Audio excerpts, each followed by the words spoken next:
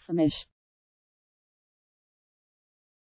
To starve to death, to kill or destroy with hunger.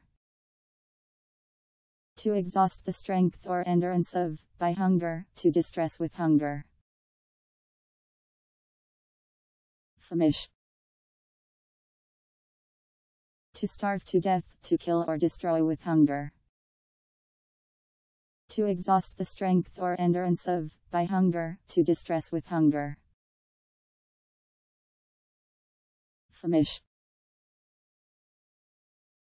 To starve to death, to kill or destroy with hunger. To exhaust the strength or endurance of, by hunger, to distress with hunger.